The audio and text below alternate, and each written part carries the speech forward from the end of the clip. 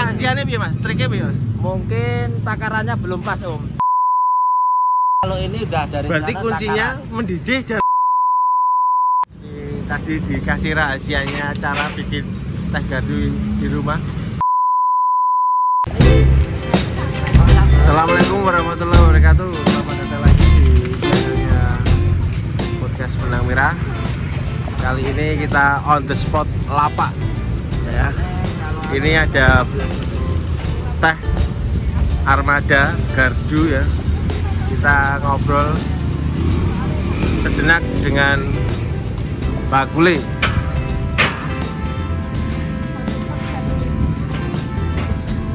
Ngapunten Mas, ngobrol nggih. Ya. Dengan Mas Sinten? Mas Solat. Oh, Mas Solah. Mas Solah. Mas Solah udah berapa lama, Mas? Betulan itu nih, Mas. Kurang lebih 10 tahunan. Betulan nih. Iya. Ikut di Gunung Subur. Suka dukanya apa nih, Mas? Ah, udah banyak om. Yang paling berkesan paling Kalau dulu itu paling nggak suka itu kalau ditaruh di luar kota. di luar kota. Ah, ah, soalnya kan sekarang udah punya anak istri. Iya. Ninggal anak istri itu sekarang kayaknya berat. Tapi waktu masih bujang Iya. itu inginnya di luar kota terus malah. Niki kula biasanya ngerti ya gerben sore lewat jate to nganune armada niki. Niki kok tersetel mriki, Mas? Perusahaannya emang di jantan mas. Oh, mas, maksudnya napa Isi malam. Oh, si malam. Si malamnya jam berapa sampai jam berapa, Mas? Jam setengah dua sampai jam 10 Setengah dua sampai jam 10 Ah. Berarti nanti pulang dari sini jam itu. jam 9 Kalau si paginya kalau pagi jam 7 sampai setengah 4 berapa armada nih, Mas? Kalau di Solo sama Karanganyar itu 27 27 armada. Itu untuk dua shift. ah, ah, ada yang satu sip ada yang dua sip Gentenan kan armada dipakai. Enggak. Oh, udah. satu satu sip ya itu satu satu gerobak Sistem niki pripun gaji apa? Gaji, gaji. Gaji UMR Karanganyar ya. Yang bonusannya pripun? Hitungannya per kap napa? kalau bonus kayak karyawan ini tidak dikasih tahu om Oh, oh, Jadi ngerti-ngerti oh, nopo Ya. ngoten iki.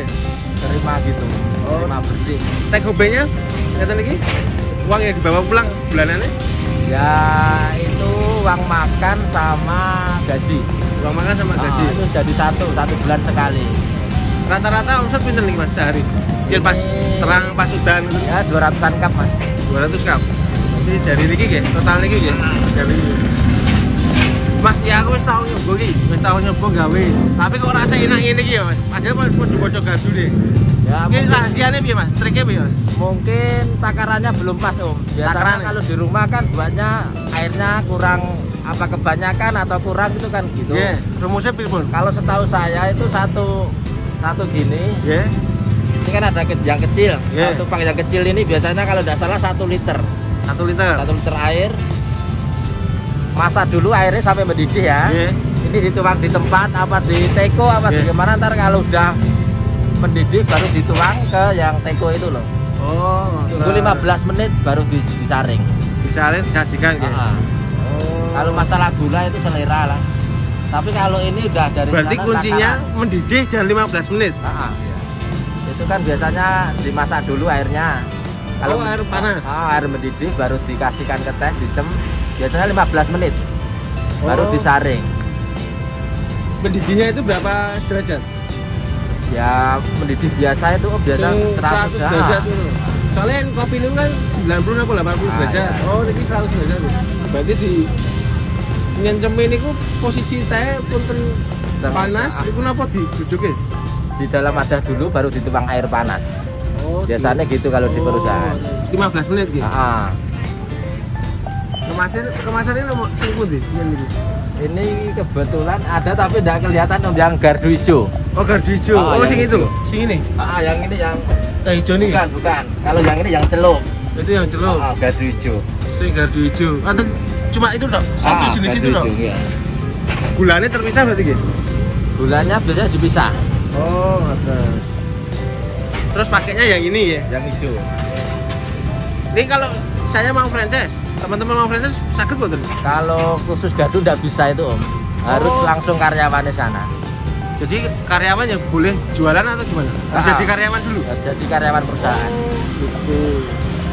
padahal ini meh buka di Semarang Kalau bisa saya juga pengen om lagi sebenarnya. mulai itu gitu Soalnya tidak bisa. soalnya kayak sekarang kan pionir teh sing armada motor gitu terus ini udah melu-melu kayak gitu ya Iya, iya, iya.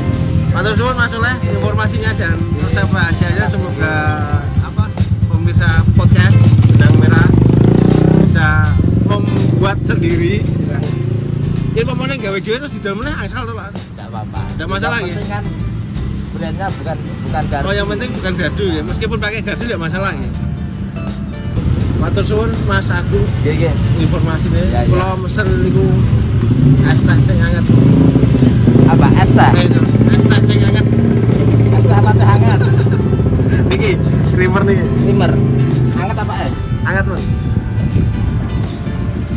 Kamu apa? Nah, hangat. Begitu para subscriber podcast Ini tadi dikasih rahasianya cara bikin teh gardu di rumah. Terima kasih sudah menyaksikan. Semoga video kali ini bermanfaat. Wassalamualaikum warahmatullahi wabarakatuh. Peace.